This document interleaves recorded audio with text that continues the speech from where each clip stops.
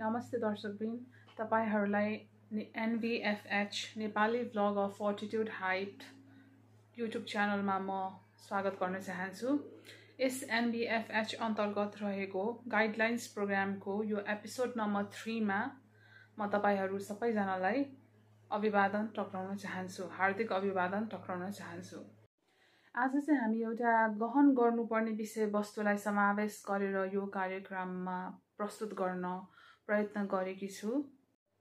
आजको इन्टाइटलमेन्ट रहेको छ रोग लाग्छ। अधिकांश पपुलेसनहरू जनसङ्ख्या अधिकांश जनसङ्ख्या रोगबाट ग्रसित भए। किन भए? कुन कारणले भए? यो रोग कहाँबाट आयो? यो भाइरस साँच्चीकै प्राकृतिक रूपमा नै निर्मित भएको हो या यसमा कुनै किसिमको मानवीय कन्ट्रिब्युसन्स छ? के भाइरस जुन आएको छ त्यो साँच्चीकै मानवले अथवा ल्याब टेक्निसियन र साइन्टिस्टहरूले ल्याबोरेटरीमा नै के यो निर्माण गरे? किन गरे त? र यसको कम्पोजिसन के छ? यसको सिक्रेट के छ? यसको तथ्य के छ? प्लस यसलाई अब समस्या त आयो। अब यसको निवा निवारण गर्न के के पहल गर्नुपर्छ हामी एक व्यक्ति भएको हिसाबले? त्यसबारेमा पनि हामी बहस गर्नेछौँ। यो इन्टाइटलमेन्ट चाहिँ कोरोना भाइरस भाइरस रोग र यसमा विभिन्न किसिमको पर्सेप्चुअल र कन्सेप्चुअल फ्रेमवर्कहरू जे जे छन् यसमा चाहिँ म समावेश गर्न प्रयत्न गर्छु। अब अधिकांश मानिसहरू रोगबाट ग्रसित हुनुको मेन कारण भनेको आफ्नो बायोलोजी आफ्नो शरीरलाई नबुझ्नु आफ्नो शरीरमा रहेको प्रणालीलाई बुझ्नु महत्त्वपूर्ण छ। अब हाम्रो शरीर ल फर्स्टमा चाहिँ म तपाईँहरूलाई के गर्छु भने फर्स्टमा चाहिँ म तपाईँहरूलाई भाइरसको बारेमा केही इन्फर्मेसनहरू दिन्छु हाम्रो बायोलोजी हाम्रो शरीरको बारेमा केही इन्फर्मेसनहरू दिन्छु र त्यसपछि हामीले यो रोगलाई न्यूनीकरण गर्न निवारण गर्न चाहिँ के के व्यक्तिगत पहल गर्न सक्छौँ त्यो कुरामा पनि हल्का जानकारी तपाईँहरूलाई पस्किनेछु। अहिलेको समय भनेको प्रतिकूल समय चलिरहेको मान्न सकिन्छ किनकि यो समयकाल चाहिँ अनुकूलन रहेन अथवा अनुकूल रहेन। किन रहेन भन्दा मान्छेहरू अधिकांश पपुलेसनहरू जनसङ्ख्याहरू चाहिँ रोगबाट ग्रसित भए। अहिलेको यो दस वर्षको अवधि समय टाइम फ्रेमलाई हामीले यदि हेर्ने हो भने चाहिँ यसमा मेन त कोरोना भाइरस आयो त्यसपछि डेङ्गु अनि हैजाको भाइरस इत्यादि। यी सबै विषयवस्तुहरू चाहिँ हामीले रेडियो समुदाय टिभी सोसियल नेटवर्क र विभिन्न किसिमका पत्र पत्रिकाहरूबाट र मेनली मिडिया टेलिभिजनबाट चाहिँ हामीले देख्यौँ।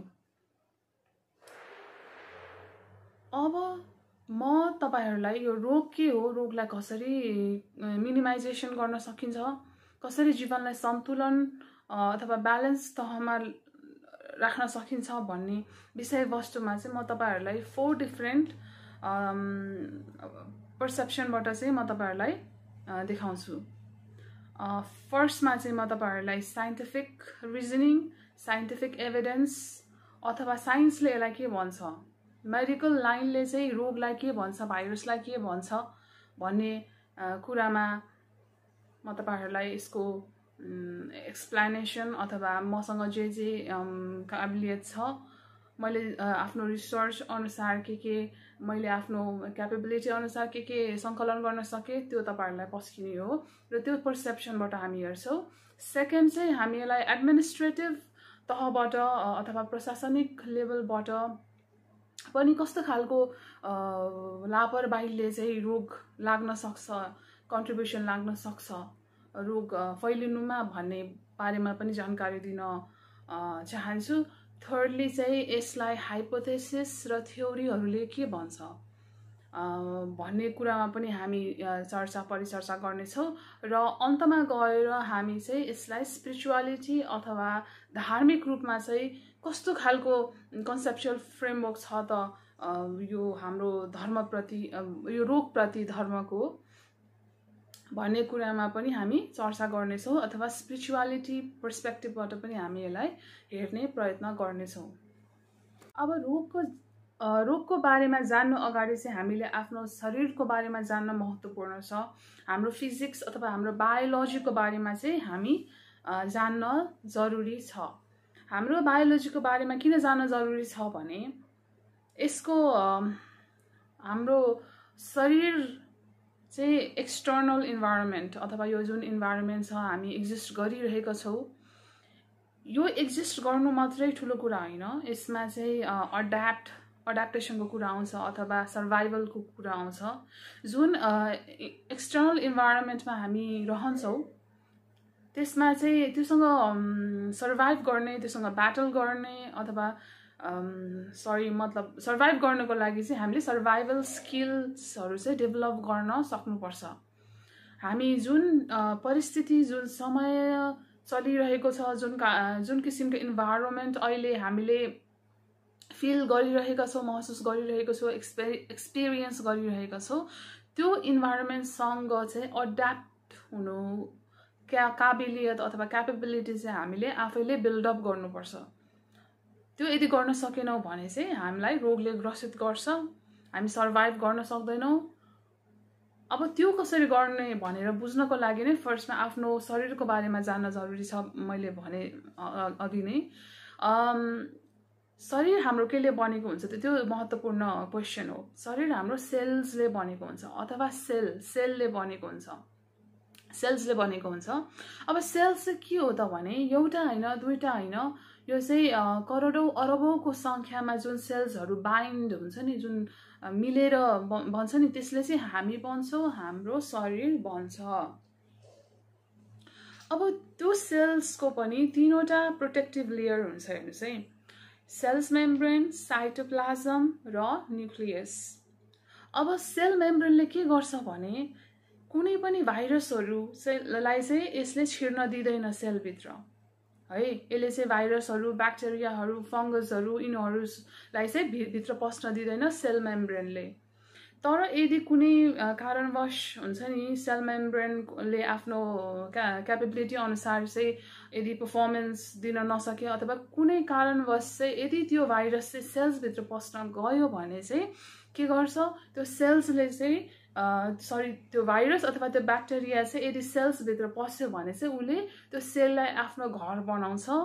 त्यो सेलमा रहेको आधारभूत आवश्यक तत्त्वहरू त्यहाँको कम्पोनेन्ट्सहरूलाई त्यहाँको अब हुन्छ नि भाइटामिन्स अब मिनरल्स अब जे जे प्रोटिनले जे जे बनेको छ त्यो चिजलाई चाहिँ उसले तान्छ। अथवा त्यो ब्याक्टेरियाले चाहिँ भाइरसले चाहिँ हाम्रो सेल्सको कम्पोनेन्टहरू युज गरेर चाहिँ के गर्छ? उसले रेप्लिकेट गर्छ अथवा प्रजोजन गर्छ यसलाई रिप्रोडक्सन पनि भनिन्छ अथवा यसले चाहिँ आफ्नो प्रजोजन अथवा रिप्रोडक्सन बच्चा जन्माएर अथवा आफ्नो हुन्छ नि आफ्नो सङ्ख्या वृद्धि गर्छ यसले। जब यसले आफ्नो सङ्ख्या वृद्धि गर्छ तब यसको सङ्ख्या वृद्धि हुन्छ र लास्टमा आएर त्यो सेल्स होल सेल्सलाई चाहिँ के गर्छ ब्याक्टेरिया फङ्गस भाइरसले यसले चाहिँ डिस्ट्रोय गर्छ। यसले डिस्ट्रोय गरिसकेपछि एउटा सेल डिस्ट्रोय गर्छ फेरि अर्को सेल्समा जान्छ। अर्को सेलमा पनि उसको फङ्सनिङ त्यस्तै हुन्छ रिपिटेटिभ फङ्सनिङ हुन्छ। त्यसरी नै ऊ प्रजोजन गर्छ रिप्रोडक्सन गर्छ र ऊ फेरि अर्को सेल्समा जान्छ। यसरी गर्दा गर्दा गर्दा हाम्रो बडीको जुन सेल्सहरू छ हाम्रो जुन शरीरमा बनेको सेल्स छ त्यसलाई ब्याक्टेरियाले डिस्ट्रोय गर्दै गर्दै लग्यो भने चाहिँ हामी त्यस बखत अथवा त्यो स्थितिमा चाहिँ हामी अस्वस्थ फिल गर्छौँ। हामी हेल्दी फिल गर्दैनौँ। हामीले चाहिँ हामीले चाहिँ आफूलाई आफूलाई गाह्रो भएको महसुस पाउँदछौँ। अब हामी भाइरसको बारेमा केही तथ्य जानौँ है त। भाइरस चाहिँ के हो भने एउटा माइक्रोस्कोपिक लिभिङ अर्ग्यानिजम हो। तर यसलाई आँखाले देख्न सकिँदैन यसको मिनिङ नै के हो त त्यसलाई खुल्ला आँखाले दृश्याङ्कन गर्न सकिँदैन।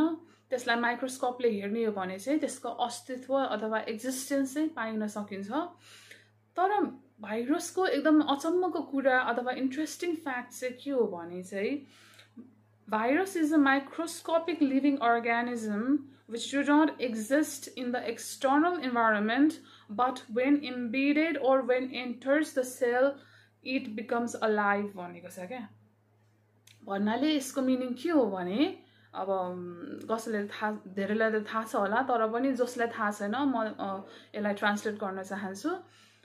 यसको मिनिङ चाहिँ के हो भने भाइरस चाहिँ आफैमा लिभिङ अर्गानिजम होइन। यो एक्सटर्नल इन्भाइरोमेन्टमा एक्जिस्टै गर्दैन। तर जब सेल्सभित्र कन्ट्याक्टमा आउँछ सेल्सभित्र पस्छ तब यसलाई चाहिँ यो आफै अलाइभ भएर जान्छ भनेर भनेको छ। अब जानौ फर्दर तथ्य भाइरसको बारेमा है। अब भाइरस चाहिँ के हो भने भाइरस भाइ भाइरस चाहिँ न्युक्लिक एसिडले बनेको हुँदो रहेछ यसको कम्पोजिसन चाहिँ हेर्नु है। आरएनए र डिएनए कोड यसको बनेको हुन्छ। यसको जेनेटिक मटेरियलले आरएनए र डिएनएले बनेको हुन्छ। अब भाइरसको पनि के हो भने हाम्रो सेल्सले जसरी हाम्रो बडीलाई प्रोटेक्ट गर्न रोगबाट लड्नको लागि जसरी सेल मेम्ब्रेन न्युक्लियस र साइटोप्लाजम थ्री थ्रीवटा लेयर्स बनाएको हुन्छ अथवा हुन्छ।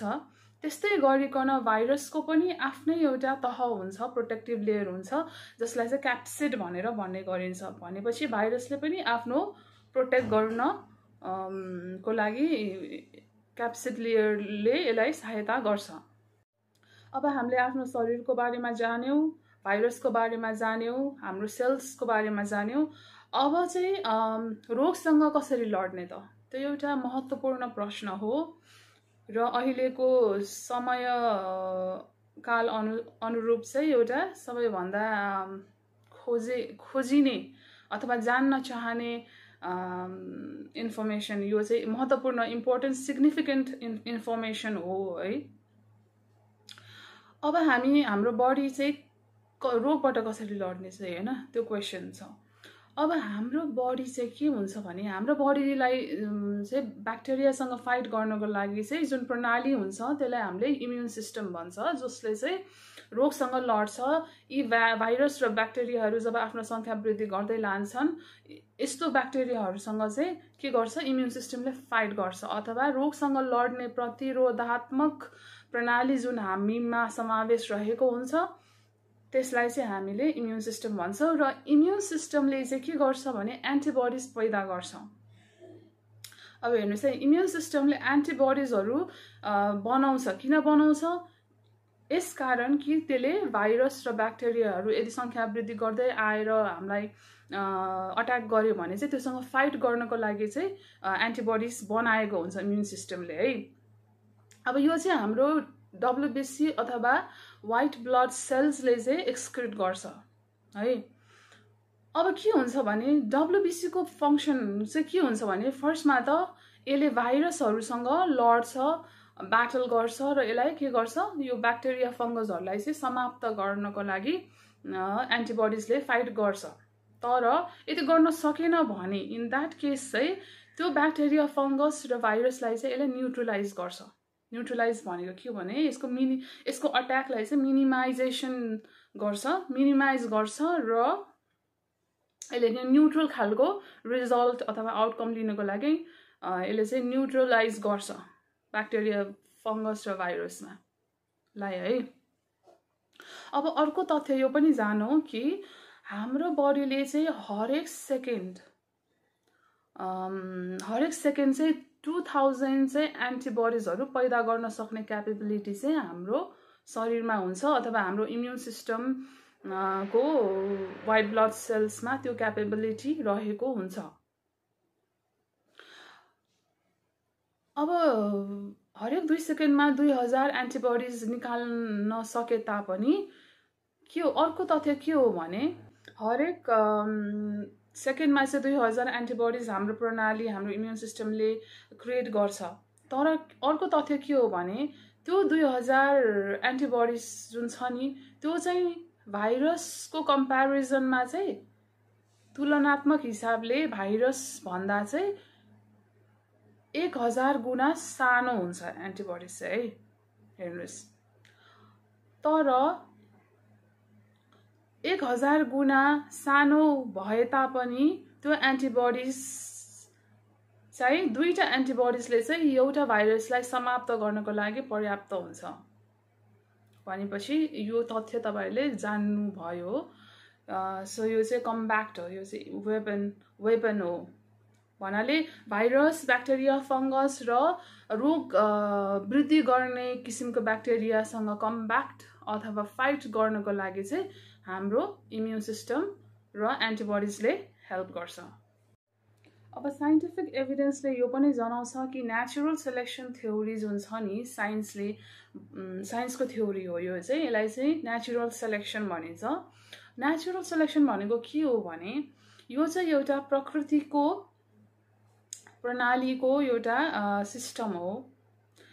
यसले के भन्छ भने यो पृथ्वीमा अथवा यो प्रकृतिमा अथवा यो प्रणालीमा जुन चिजहरू चाहिँ उपयोगी हुन्छ जुन चिजहरूले चाहिँ प्रकृतिमा केही न केही देन दिइरहेको हुन्छ अथवा जुन चिजले चाहिँ प्रकृतिलाई एउटा सन्तुलन दिन सक्छ एउटा प्रकृति र प्रणालीलाई केही न केही कन्ट्रिब्युसन दिन सक्छ भने त्यो चिजलाई चाहिँ प्रणाली अथवा प्रकृतिले चाहिँ अपर्च्युनिटी प्रोभाइड गर्छ। प्रस्पर हुनको लागि विकसित हुनको लागि केही राम्रो सन्तुलन कायम गर्नको लागि। तर इनकेस प्रकृतिमा त्यो चिज चाहिँ अटेन अथवा त्यो चिजमा केही पनि योगदान दिएन प्रकृतिमा प्रणालीमा अथवा त्यो उपयोगीमूलक भएन इनफ्याक्ट भनरेबल भयो अथवा हुन्छ नि झन् उप उपयोगी हुनुको सट्टा चाहिँ प्रकृतिको सिस्टममा चाहिँ झन् नेगेटिभ चाहिँ धेरै इम्प्याक्ट ल्यायो भने चाहिँ त्यो चिजलाई चाहिँ नेचुरल प्रकृतिले के गर्छ? एक्सक्रिट गर्छ रिजेक्ट गर्छ अथवा प्रकृतिबाट निष्कासन गर्छ प्रणालीबाट निष्कासन गर्छ भन्ने जुन थ्योरी छ त्यसलाई नै नेचुरल सेलेक्सन भनिन्छ। भनेपछि यसले के जनाउँछ भने हामी पनि प्रणालीको पार्ट हो। We are the part of the ecosystem होइन? त्यसै कारणले गर्दाखेरि चाहिँ हामी प्रकृतिमा प्रणालीमा अटाउनको लागि केही न केही राम्रो काम गरेर देखाउनु पर्यो असल काम गरेर देखाउनु पर्यो सन्तुलन ल्याउनको लागि केही न केही योगदान दिनु पर्यो भन्ने चाहिँ यसको तात्पर्य हो। अब यहाँ यो त भयो साइन्टिफिक रिजनिङ अथवा साइन्टिफिक साइन्टिफिक पर्स पर्सपेक्टिभबाट हामीले रोगलाई यसरी व्याख्या गरिन्छ भन्ने म मैले तपाईँलाई इन्फर्मेसन प्रोभाइड गरेँ। अब हामी यसलाई चाहिँ एडमिनिस्ट्रेटिभ तहबाट अथवा प्रशासनिक तहबाट पनि यस्तो प्रणालीहरूमा गडबडी ल्याउनुको लागि रोगलाई वृद्धि गर्न रोगलाई चाहिँ वृद्धि गर्नको लागि कसरी कन्ट्रिब्युट गर्छ? यदि प्रशासनिक लेभलमा भएको हेल्थ चेक राईले अथवा प्रशासनिकमा भएको तहमा भएको करप्सनले प्रणालीमा कसरी चाहिँ यसले चाहिँ नराम्रो प्रभाव ल्याउन सक् प्रभाव ल्याउँछ भन्ने कुरामा पनि जानौँ है त। फर इक्जाम्पल कुनै प्रणालीमा करप्सन आयो अथवा कुनै प्रणालीमा करप्टेड मान्छेहरू धेरै छ क्यापेबिलिटी भएको भन्दा धेरै करप करप्सनमा चाहिँ धेरै इन्ट्रेस्ट भएको व्यक्तिहरू छ भने चाहिँ यसले प्रणालीमा असन्तुलन कन्ट्रिब्युट गर्छ। किन असन्तुलित बनाउन सक्छ? भन् भन्नाले जब करप्सन हुन्छ नि तब पैसा मात्रै उनीहरूको माइन्डमा हुन्छ अथवा उनीहरू पैसा मात्रै कमाउनु पर्छ असल कर्म गर्नु हुँदैन भन्ने खालको पर्सेप्सन हुन्छ। जब प्रशासनिक तहमा मान्छे करप्टेड हुन्छ नि तब उसले पैसालाई मात्रै मोटिभ बनाउँछ। मतलब आफ्नो कन्ट्रिब्युसन चाहिँ कन्ट्रिब्युसनलाई चाहिँ धेरै अत्याधिक रूपमा रूपमा हेल्थ चेकराई गर्न सक्छ होइन? यस कारणले गर्दाखेरि चाहिँ प्रशासनिक तहमा मान्छे यदि करप्टेड भयो भने उसले फ्रड एक्टिभिटिजहरूमा चाहिँ बढी सक संलग्न हुन्छ।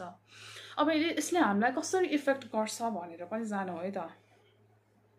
यसले हामीलाई डाइरेक्टली इन्डाइरेक्टली इम्प्याक्ट गर्छ। किनकि हामी पनि यो part of economy economy of the, the society and part of this external environment part of this whole system होइन? हामी पनि एउटा पार्ट हो यसको।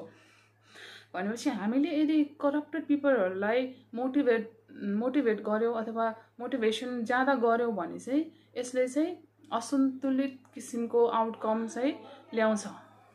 फर इक्जाम्पल मेडिकेसन अथवा मेडिसिन जुन औषधिहरू हुन्छ त्यसको आयात निर्यात होइन त्यसको प्राइसिङ इत्यादि विभिन्न किसिमको यी मेडिसिन र प्रिस्क्रिप्सन ड्रग्सहरूको चाहिँ प्राइसदेखि लिएर यसको कम्पोजिसन यसको डिस्ट्रिब्युसन मार्केट इत्यादिहरूलाई अप्रुभल केले दिन्छ भने फुड एन्ड ड्रग्स एडमिनिस्ट्रेसन अथवा एफडिएले प्रोभाइड गर्छ।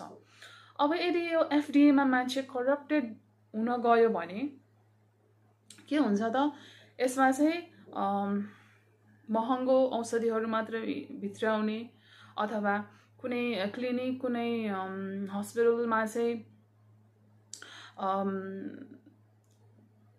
यस्तो किसिमको एक्टिभिटीले एकदम ठुलो खालको इम्प्याक्ट लाउन सक्छ हेर्नुहोस् जस्तै एउटा हुन्छ नि पैसाकै हिसाबले मात्रै हेर्ने हो भने चाहिँ यस्तो जुन ड्रग्सहरू प्रेसक्रिप्सन ड्रग्सहरू औषधिहरू भित्रिन्छ यसले चाहिँ मानवमा चाहिँ नराम्रो प्रभाव परेको पनि पाइएको छ।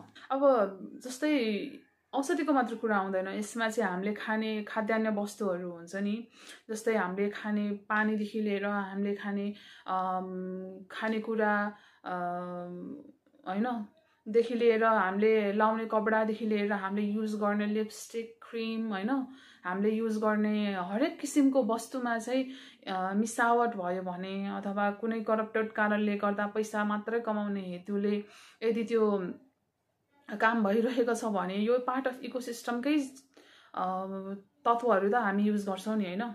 भन्नाले अब त्यो चिजहरू के गर्छ त हामीले युज गर्छौँ नि? भनेपछि यदि खानेकुरा गर्ने व्यक् कम्पनीमा करप्सन आयो भने त्यसमा मिसावट हुन्छ। यदि हामीले युज गर्ने मेडिसिनमा चाहिँ करप्सन भयो भने चाहिँ त्यो मेडिसिन नक्कली आउन सक्छ। अथवा नमिलेको औषधि कम्पोजिसन मलिकुलर स्ट्रक्चर नमिलेको अथवा विज्ञ व्यक्तिले नबनाएको औषधि आउनसक्छ होइन त्यस कारणले हामीलाई साइड इफेक्ट हुनसक्छ तपाईँलाई साइड इफेक्ट हुनसक्छ हामीलाई साइड इफेक्ट हुनसक्छ किनकि हामी यो इकोसिस्टमको पार्ट हौ नि त। त्यसरी हेर्नुपर्छ हेर्नुहोस्। हामीले युज गर्ने चिजहरूमा अनेस्ट रिभ्यू दिनुहोस् जे हो त्यो भन्नुहोस् होइन? राम्रो पनि पक्ष हुन्छ नराम्रो पनि पक्ष हुन्छ तर मेरो तात्पर्य के हो भने हामी हामीले यदि करप्ट गरेछौँ भने अरू मान्छे पनि बिस्तारै करप्ट हुँदै गयो भने त the whole system is classed होइन? त्यो एउटा राम्रो रिजल्ट ल्याउँदैन त्यसले भन्ने चाहिँ अब यसको तात्पर्य हो। अब हामीले यसलाई एडमिनिस्ट्रेटिभ अथवा प्रशासनिक लेभलबाट हेऱ्यौँ। अब थर्ड चाहिँ हामी यसलाई केबाट हेऱ्यौँ भने विभिन्न किसिमका हाइपोथेसिस र थियोरिटिकल कन्सेप्चुअल फर फ्रेमवर्कबाट पनि यसलाई हेरौँ है त। अब कोरोना भाइरसको कुरा गरौँ है त। कोरोना भाइरस चाहिँ चाइनाको वुहान भन्ने सिटीबाट पहिलो पटक चाहिँ यसको अस्तित्व देखिएको थियो। अब चाइनाको वुहान सिटीको वुहान इन्स्टिट्युट अफ भाइरोलोजीमा चाहिँ यो ल्याबोरेटरीमा चाहिँ उत्पन्न भएको हो भन्ने आशंका पनि रहिआएको छ र यसलाई चाहिँ साइन्स साइन्सले चाहिँ अथवा साइन्टिस्टहरूले चाहिँ ल्याब लिक हाइपोथेसिस भनेर नामाकरण गरेको छ। अर्थात् यो भाइरस चाहिँ प्रकृतिमा आफै उत्पत्ति भएको होइन तर ल्याबोरेटरीमा चाहिँ मान्छेद्वारा नै यसलाई कुनै न कुनै किसिमको रिइन्जिनियरिङ गरेर चाहिँ यो भाइरस चाहिँ बनाएको हो भन्ने चाहिँ एक किसिमको कन्जेक्चर आएको छ अथवा एक किसिमको यो चाहिँ ल्याब्रिक हाइपोथेसिसले चाहिँ जनाउँछ। अब यसको बारेमा एउटा सोच्नुपर्ने तथ्य चाहिँ के हो भने ल्याबोरेटरीमा ल्याब टेक्निसियन साइन्टिस्टहरू हुन्छ उनीहरूले काम गरिरहेको हुन्छ होइन? यो किन बनायो त? त्यो अर्को इन्ट्रेस्टिङ फ्याक्ट हो है। भन्नाले बनाउने त बनायो कुनै मान्छेले भाइरस किन बनाउँछ त? यसले रोग ल्याउँछ भनेर थाहा हुँदा हुँदै पनि भाइरस किन बनाउँछ र कसरी बनाउँछ भन्ने फर्दर तथ्य जानु है त। अब भाइरस चाहिँ अब टु थाउजन्ड फोर्टिन र अब कोरोना भाइरस अथवा कोभिड नाइन्टिन चाहिँ यसलाई चाहिँ ल्याब टेक्निसियनहरूले चाहिँ नामाकरण गर्ने अनुसार चाहिँ सिओभी सरी एसएआरएस सिओभी टू भनेर चाहिँ यसलाई नामाकरण गरेको छ। र यसको जिनोम चाहिँ नाइन्टी सिक्स पर्सेन्ट चाहिँ ऱ्याट जी थर्टिन नामको एक चमेराको प्रजातिसँग चाहिँ डिएनए अथवा जिनोम म्याच भएको तथ्य छ। यो यो चाहिँ एउटा ऱ्याट जी थर्टिन चाहिँ एक किसिमको होर्सु ब्याट अथवा होर्सु चमेरा हो।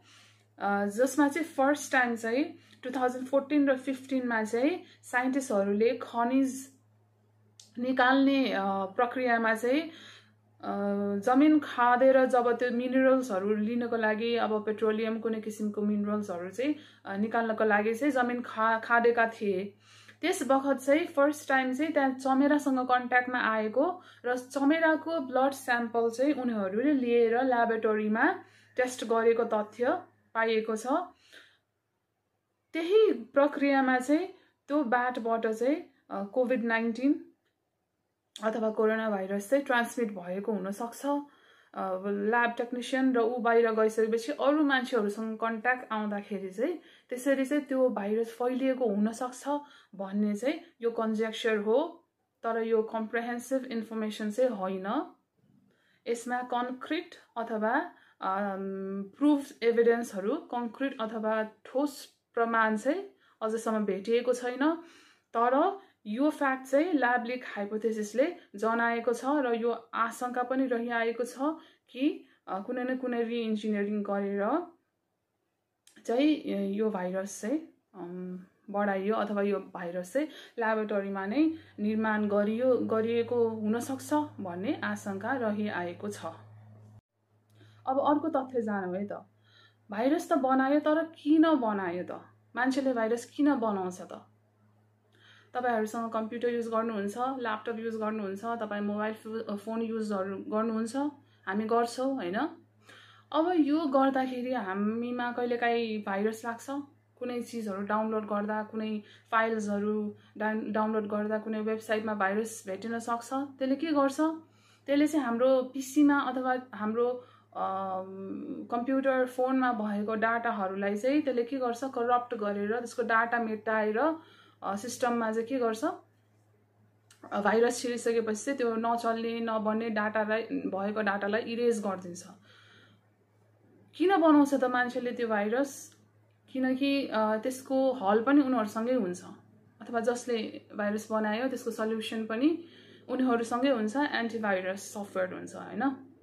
अब म म तपाईँलाई बुझाउनु खोजेको है यसरी। अब एन्टिभाइरस सफ्टवेयरले चाहिँ भाइरसलाई चाहिँ एलिमिनेट गर्छ। त्यस कारणले गर्दाखेरि चाहिँ भाइरस कम्पनी सफ्टवेयर कम्पनीहरूले पनि भाइरस बना बनाउँछ भन्ने आशंका छ नि होइन? त्यस्तो किसिमको फ्याक्ट हो नि। हो त्यस्तै गरिकन सबैभन्दा पैसा चाहिँ धेरै सङ्कलन गर्ने एबिलिटी कोसँग हुन्छ? अथवा त्यो प्रक्रिया कोसँग हुन्छ? सरकारसँग हुन्छ? सरकारले चाहिँ सबैभन्दा पहिला चाहिँ आफ्नो नागरिक आफ्नो सिटिजन्सको प्रोटेक्सनको लागि उनीहरूलाई शिक्षा स्वास्थ्य होइन? उनीहरूलाई ट्रान्सपोर्टेसन यातायातदेखि लिएर विभिन्न किसिमको पूर्वाधारहरू चाहिँ के गर्छ? सरकारले पुर्याउँछ अब धेरै पैसा ट्याक्सबाट सङ्कलन हामी जस्तै जनताहरू हामी जस्तै नागरिकहरूबाट चाहिँ उनीहरूले त्यो ट्याक्स एकुमुलेसन गरेको हुन्छ। तसर्थ पैसा पनि उनीहरूसँग धेरै हुन्छ र उनीहरूले कस्तो चिजमा इन्भेस्ट गर्छ सरकारले? यस्तो चिजहरू जुन चाहिँ समय सान्दर्भिक छ होइन? डिमान्डमा छ। जस्तै अब कसैलाई रोग लागिरहेछ भने त सरकारले त रोग किन लागिरहेछ भन्ने चिजमा नै त इन्भेस्ट गर्छ नि होइन। त्यसरी नै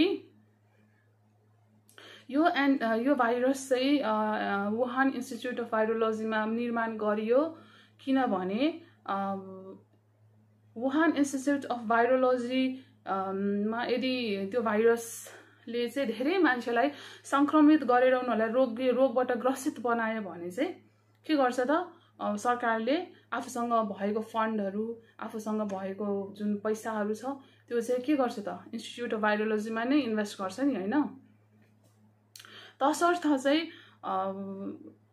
यो इन्भेस्टमेन्ट पाउनुको लागि स्पोन्सरसिप पाउनुको लागि वुहान इन्स्टिच्युट अफ भाइरोलोजी चलाउनुको लागि त्यहाँको हुन्छ नि खर्चदेखि लिएर एभ्रिथिङ त्योलाई चाहिँ कभर गर्नुको लागि चाहिँ यस्तो खालको एक्टिभिटिज अथवा कन्डक्ट चाहिँ यो वुहान इन्स्टिच्युट अफ भाइरोलोजीमा हुन गयो भन्ने चाहिँ कन्जेक्चर हो। तसर्थ चाहिँ यस्तो उनीहरूले गरेको हुनसक्छ है भन्ने चाहिँ अहिलेसम्म पनि आशंका रहिआएको छ। तसर्थ चाहिँ यसमा चाहिँ इन्भेस्टमेन्ट गर्नेहरू चाहिँ अब US intelligence commission Australia United Nation इत्यादिले चाहिँ यसको इन्भेस्टिगेसन अथवा यो के तथ्य हो भन्नेमा चाहिँ इन्भेस्ट गरेको पनि हामीले पायौँ रिसर्च अनुसार। अब फर्दर यो आशंका किन भयो अथवा हुन गयो भन्ने तथ्य पनि जानौँ। अब विभिन्न भ्यारिएन्टहरू पनि आए है। कोभिड नाइन्टिनको भ्यारिएन्ट जस्तै डेल्टा अल्फा ओम्निक्रोम होइन? अब यसमा सिम्ट सिम्टम्सहरू पनि भ्यारिड पाइयो। अब ओम्निक्रोनमा चाहिँ अब रनिनोज फिभर हेडेक होइन? अब डेल्टामा चाहिँ सिम्टोमेटिक अथवा बच्चाहरूलाई आक्रमण गर्ने किसिमको भाइरस भेटियो। जस चाहिँ एकदम चाँडो चाँडो फैलियो पनि अथवा इजिली पास भयो त्यो सर्ने होइन? त्यस्तो अल्फा र डेल्टामा चाहिँ त्यो सिम्टम्स पाइयो। र हरेक नयाँ भाइरसमा चाहिँ के गर्यो भने यसमा कुनै न कुनै चेन्ज चाहिँ ल्याइएको पाइयो क्या अरिजिनलबाट यसमा कुनै न कुनै चिज चाहिँ पाइयो। केही न केही मिसावट गरियो अनि तसर्थ चाहिँ यसले नयाँ भ्यारिएन्ट पैदा गर्यो। अब यो भ्यारिएन्टमा चाहिँ के हुन्छ हाइपरसोमनिया अथवा हाइपर हाइपर एक्टिभिटीमा पनि यसले ल्यायो भन्ने भाइरसको नयाँ भ्यारिएन्टमा चाहिँ त्यो पाइयो। भने चाहिँ एकदम हाइपरसोमनिया अनि हाइपर एक्टिभिटी एक किसिमको सिम्टम्सहरू पनि यसको अट्याकले चाहिँ निस्केको तथ्य पनि पाइयो। हामीले साइन्टिफिक रिजनिङ दियौँ एडमिनिस्ट्रेटिभ अथवा प्रशासनिक तहबाट भएको तथ्य पनि हामीले डिस्कसन गऱ्यौँ अब चाहिँ हामी हाइपोथेसिस अथवा थ्योरीबाट पनि हेर्ने गरौँ है। स्टेफेन हकिङ्सको ब्ल्याक होल थ्योरीले के भन्छ भने यो ब्रह्माण्डमा चाहिँ अनन्त ब्ल्याक होल्सहरू हुन्छ। ब्ल्याक होल्सले चाहिँ के गर्छ भने जे जे पनि चिजहरू हुन्छ नि जे जे मटेरियल्सहरू जे जे पनि जे चिज पनि यदि यसको कन्ट्याक्टमा आयो भने चाहिँ ब्ल्याक होलले चाहिँ त्यसलाई अट्र्याक्ट गरेर म्याग्नेटिक किसिमले त्यो पुल गरेर लैजान्छ। तर कहाँ लैजान्छ भन्नेको ठोस एभिडेन्स अथवा कहाँ लैजान्छ भन्नेको कुनै पनि प्रमाण यसले दिँदैन। र यदि यो यति अध्यारो हुन्छ यति यति गहिरो हुन्छ यसको अध्यारोपन कि यसले लाइटलाई पनि प्रवेश गर्न दिँदैन अथवा लाइट पनि यदि प्रवेश गर्यो प्रवेश गर्न सक्दैन। है? यस्तो ब्रह्माण्डमा चाहिँ ब्ल्याक होल्सहरू अनन्त रहेको थ्योरी चाहिँ स्टेफेन हकिन्स साइन्टिस्ट स्टेफेन हकिन्सले दिएका थिए। अब यो पनि एउटा हाइपोथेसिस हो जसले चाहिँ केही न केही किसिमको इन्फर्मेसनहरू प्रोभाइड गर्छ हामी माझ। अब लास्टली अथवा अन्तमा चाहिँ हामी धार्मिक अथवा स्पिरिचुअल पर्सपेक्टिभबाट पनि रोग भाइरस हाम्रो शरीर र हाम्रो हुन्छ नि जीवनलाई चाहिँ बुझ्न प्रयत्न गरौँ है त।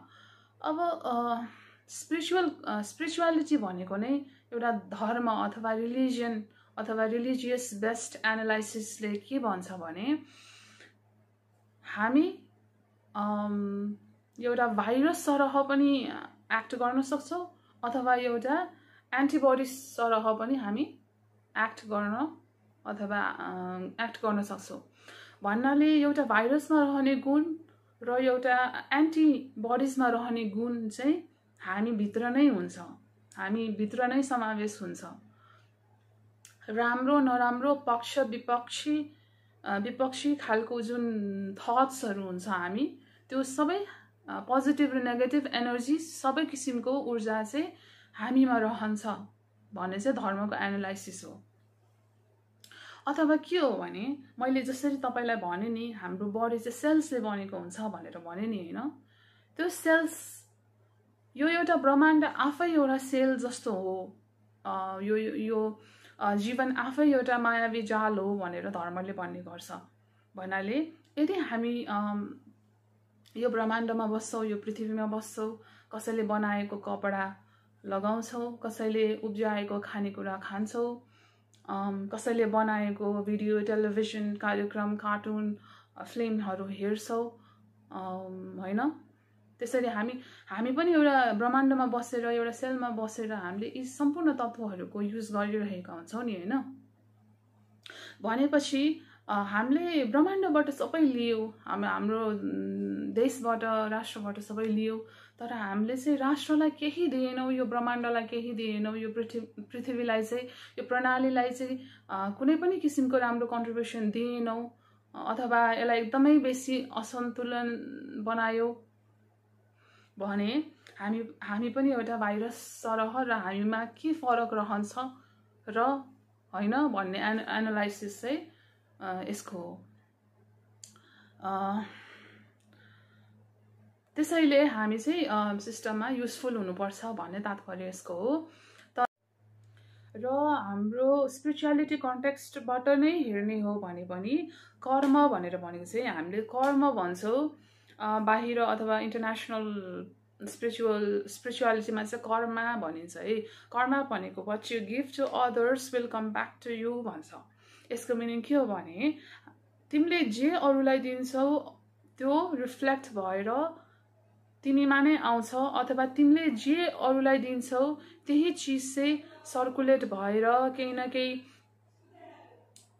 सर्कुलेसन बाट घुमिफेरि चाहिँ त्यो आफूलाई नै आउँछ। चाहे त्यो राम्रो होस् चाहे त्यो नराम्रो होस्। जे दिन्छौ त्यो चाहिँ सर्कुलेट भएर आउँछ भनिन्छ। सर्कुलेसन चाहिँ बौद्ध धर्ममा मानिन्छ क्रिस्टियानिटीमा चाहिँ अलिकति लाइनियर कन्सेप्चुअल फ्रेमवर्क चाहिँ उनीहरूको धर्ममा जोड दिइन्छ। स्क्रिप्चर र धर्म धर्मको कन्सेप्चुअल एनालाइसिसले यो पनि जनधारणा दिन्छ। कि जसरी हामी पैसा एकुमुलेट गर्छौँ अनि ब्याङ्कमा राख्छौँ नि त्यसरी नै हाम्रो कर्मिक अकाउन्ट चाहिँ भगवान्को खातामा हुन्छ र भगवान्ले चाहिँ एक एक चिज चाहिँ हामीले गरेको कर्म चाहिँ नोट गरिरहेको हुन्छ भन्ने चाहिँ त्यो विश्वास चाहिँ धर्ममा रहिआएको हुन्छ। र पर्सिस्टेन्टको कुरा मैले पहिला मेरो गाइडलाइन गाइडलाइनमा पनि मैले उल्लेखित गरेको थिएँ।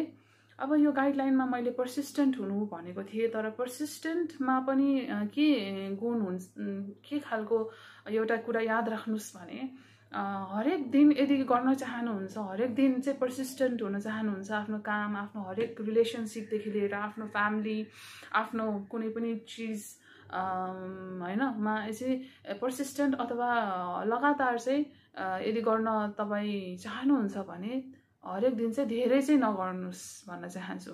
किनकि चाँडो दौडिने व्यक्ति चाँडै थाक्छ। र अलिकति टाइमली गर्ने व्यक्ति चाहिँ अलिकति उसको भोलिको लागि पनि उसको त्यो एनर्जी चाहिँ कायम रहन्छ भन्ने हो। तर त्यो समय सापेक्षिक पनि हुन्छ त्यो कन् कन्टेक्स कन्टेक्चुअल पनि हो। त्यो सिचुएसनदेखि लिएर एभ्रिथिङमा भर पर्ने चिज हो। त्यसैले धर्मको एनालाइसिसले चाहिँ के भन्छ भने कर्म गर्नुहोस् तर राम्रो कर्म गर्नुहोस् असल कर्म गर्नुहोस् बरु थोरै कर्म गर्नुहोस् तर त्यसले चाहिँ एउटा इफेक्टिभ एफिसियन्ट तरिकाले इफेक्टिभ रिजल्ट ल्याउने खालको कर्म गर्नुहोस् फर इक्जाम्पल तपाईँ डक्टर हुनुहुन्छ तपाईँ चाहिँ पैसा कमाउने मात्रै तपाईँको हेतु रह्यो भने के हुन्छ त? तपाईँ हरेक पेसेन्टलाई राम्ररी हेर्न सक्नु हुँदैन नि। जसरी भए पनि धेरै पेसेन्ट्स आओस् हस्पिटल चलोस् क्लिनिक चलोस् त्यति मात्र तपाईँको मोटिभ हुनु हुँदैन। तपाईँले यदि तपाईँको तपाईँको क्लिनिकमा चाहिँ एउटा पनि रोग तपाईँको क्लिनिकमा चाहिँ एउटा पनि रोगी व्यक्ति आएन भने के भयो त? तपाईँको कुनै पनि कर्म भएन त्यहाँ।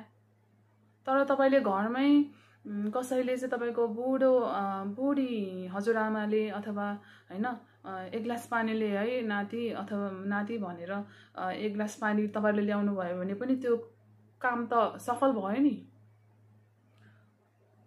तर तपाईँ दौडेर हस्पिटल पुग्नुभयो दौडेर क्लिनिक होइन ट्रान्सपोर्टेसनमा खर्च गरेर पुरा पुग्नुभयो तर त्यहाँ कोही पनि रोगी तपाईँको क्लिनिकमा आएन भने त त्यो त न इफेक्टिभ भयो न इफे एफिसियन्ट भयो त्यसैले हरेक मान्छेलाई चाहिँ यदि कसैले तपाईँलाई समय दिइरहेको छ भने चाहिँ त्यसलाई एउटा तपाईँको समयको महत्त्वपूर्ण भाग ठान्नुहोस्।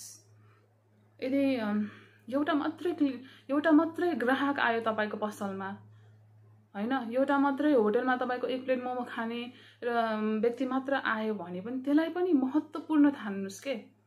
सयजनालाई सर्भ गर्नु अगाडि पहिला सुरुमा एउटा ग्राहकलाई यदि पनि दिनमा एक दिनमा एउटा ग्राहकलाई पनि हामीले एउटा सन्तुष्ट किसिमको सेवा उपलब्ध गराउन सक्यो भने त्यो दिन सफल ठहरेको महसुस हामी गर्नेछौँ।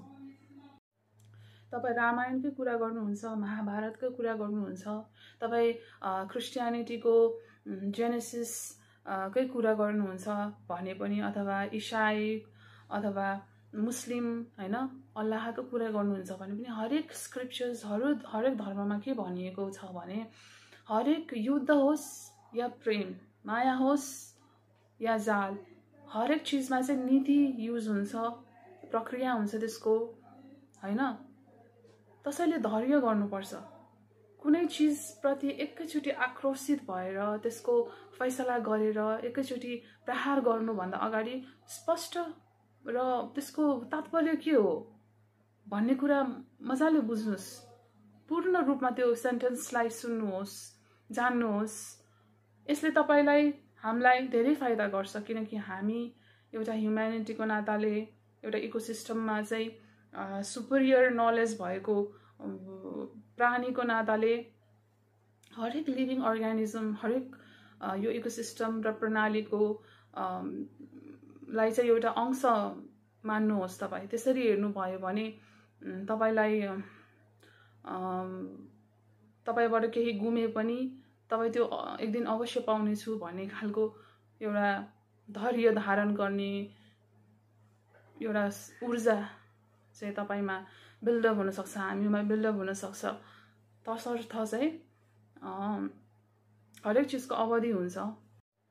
अब नेपालकै इतिहास कोटाउने हो भने पनि पहिला पहिला चाहिँ धर्ममा के जनधारणा अथवा विश्वास रहिआएको हुन्छ भने ब्रह्मचारीको पालन गर्यो अथवा कुमारी तत्त्वको पालन गर्यो भने हामीले विगतमा जानी अन्जानी अथवा कन्सियसली सबकन्सियसली अथवा होइन कुनै पनि किसिम सिचुएसनको कारणले गर्दाखेरि चाहिँ हामीले गरेको पाप कर्म हामीले गरेको नराम्रो कामको कम्पनसेट चाहिँ केले गर्छ भन्दा हाम्रै असल कर्म र हाम्रो कुमारी तत्त्व र ब्रह्मचारीको पालनले पनि गर्छ भन्ने जनधारणा पनि छ हिन्दू धर्मावलम्बीमा। र कुमारी चाहिँ नेवारी समुदायको एक किसिमको ट्रेडिसन एक किसिमको कल्चर पनि छ। संसारभरका मानिसहरू पनि कुमारीको बारेमा जान्न चाहे होइन मिडिया पत्र पत्रिकाहरूबाट पनि यसरी तर अब भगवान्ले पनि कुमारी बनाउँदाखेरि चाहिँ हुन त अब जनधारणा के रहिआएको थियो भने कुमारी भनेको चाहिँ आजीवन चाहिँ कुमारी तत्त्व निर्वाह गर्नुपर्छ। कुमारीले बिहे गर्नु हुँदैन कुमारीले पढ्नु हुँदैन भन्ने किसिमको जनधारणा पुरानो इतिहासमा रहिआएको थियो। तर समय अनुरूप चाहिँ त्यो जनधारणा चाहिँ अल्टर भएर अथवा त्यो विकसित हुँदै आएर चाहिँ होइन। कुमारीले पनि अपर्च्युनिटी पाउनुपर्छ कुमारीले पनि अवसर पाउनुपर्छ र उसले पढ्न पाउनुपर्छ र पछि आएर चाहिँ जुन कुमारी चाहिँ नेवारी समुदायमा रहिआएको थियो उस उस उसले पनि बिहे गर्न सक्ने खालको प्रावधान चाहिँ पछि उसको राम्रो कर्म राम्रो अध्ययनद्वारा चाहिँ उसले चाहिँ त्यो प्रावधान चाहिँ पाएको तथ्य पनि रहेको छ। अब स अहिलेको कुमारी चाहिँ वज्राचार्य नेवारी समुदायमा रहेको छ। अब कुमारी तत्त्व जीवनकालभरि यापन गर्न कि त्यो सम्भव छ त? त्यो अर्को कर तर्क हो है। असम्भव छ या सम्भव छ? त्यो अर्को विषयवस्तु पनि हो। तसर्थ चाहिँ धर्ममा के जनाइएको छ भने सदाकालीन कोही व्यक्ति चाहे त्यो पुरुष होस् या महिला ब्रह्मचारी ब्रह्मचारीको पालना गर्ने र कुमारी तत्त्वको पालना गर्नु त्यो चाहिँ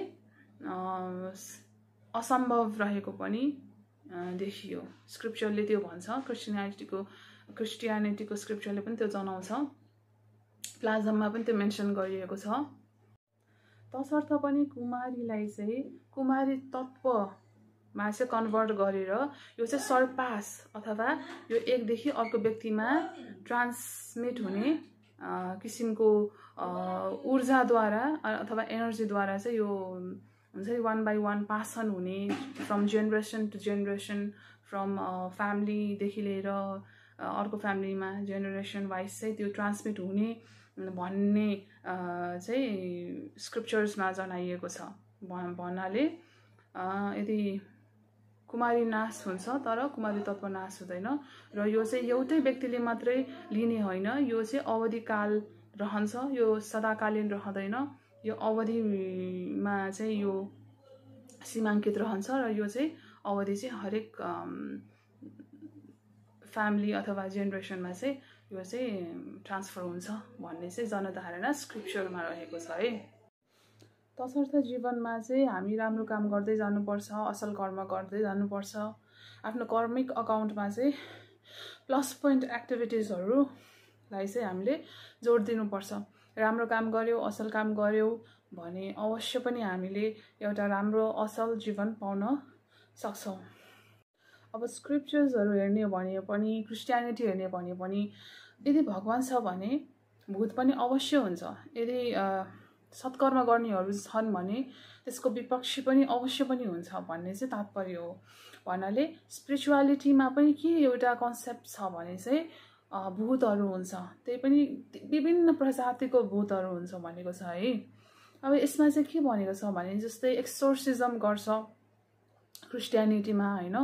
अब त्यो भूत निकाल्ने इत्यादि खालको प्रक्रियाहरू यो चाहिँ के भनेको छ भने यसमा चाहिँ प्यारानर्मल एक्टिभिटिज स्टडिजले पनि के देखाएको छ भने चाहिँ भूत हुन्छ उनीहरू इन एक्जिस्टेन्स हुन्छ तर उनीहरूको केही न केही हुन्छ नि केही न केही प्यारानर्मल एक्टिभिटी चाहिँ उनीहरूद्वारा देखाइएको हुन्छ भन्ने चाहिँ अथवा भूतहरूको एक्जिस्टेन्ट रहेको तथ्य तथ्य चाहिँ प्यारानर्मल एक्टिभिटिजहरूले पनि स्टडिजहरूले पनि देखाउँछ। हस् दर्शकबिन अब म हामीले आज राम्रो खालको इन्टाइटलमेन्टमा चर्चा परिचर्चा गऱ्यौँ। हामीले साइन्टिफिक एडमिनिस्ट्रेटिभ अनि हाइपोथेसिस र स्पिरिचुअल कन्टेक्समा चाहिँ यसलाई कसरी हेरिन्छ भन्ने कुराको पनि बहस गऱ्यौँ।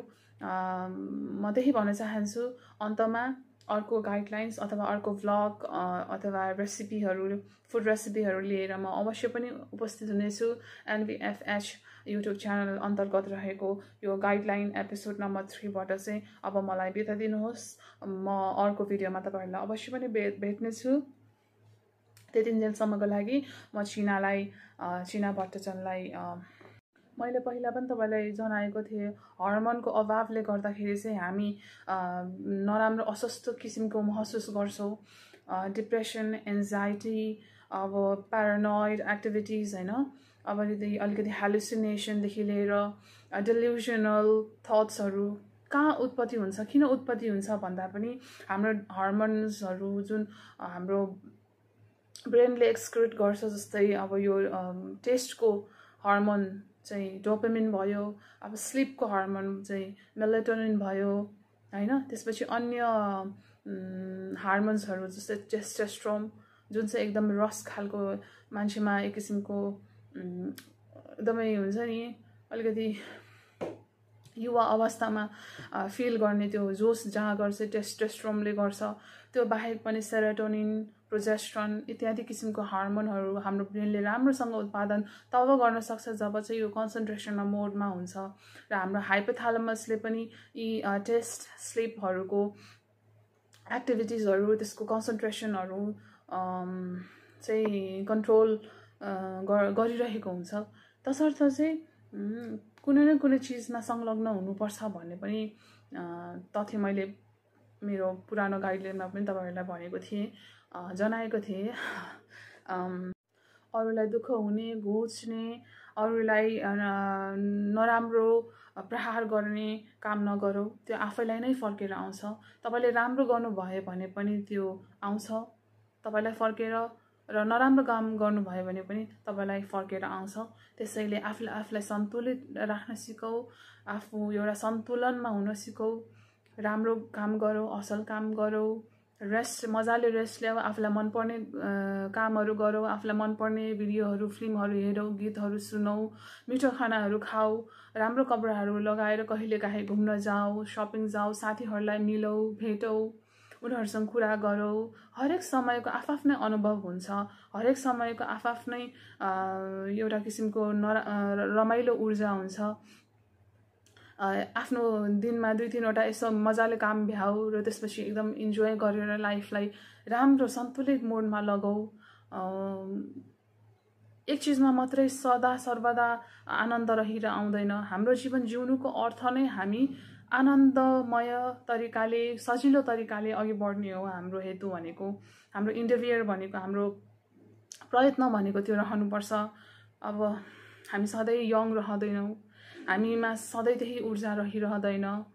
हामीले जब यो ब्रह्माण्ड कसरी बन्छ हामी को हो हाम्रो अस्तित्व के हो भन्ने जब त्यो आत्मज्ञान हामीले थाहा पाउँछौँ तब अरू सरह आफू पनि हो र अरू नै यो प्रणाली अरू पनि हाम्रै जीवनको अंश हुन् हामी पनि अरूको यो प्रणालीको अंश हौ। हामीलाई दुखी अरूलाई पनि दुख्छ अरूलाई घोषे हामीमा पनि त्यो अवश्य पनि फिर्ता आउँछ कुनै न कुनै रूपले। भन्ने यो तथ्य जानौँ र राम्रो सत्कर्म गरौँ। आफूले गरेको कमाएको कर्मले अरूलाई हानि होइन कि आफ्नोलाई राम्रो गर्ने प्रयत्न गरौँ त्यति भन्न चाहन्छु। बिदा दिनुहोस्। हस्त दर्शकबिन thank you very much for your time see you next time अर्को पटक भेट्नेछौँ। नमस्ते। नमस्ते। बाई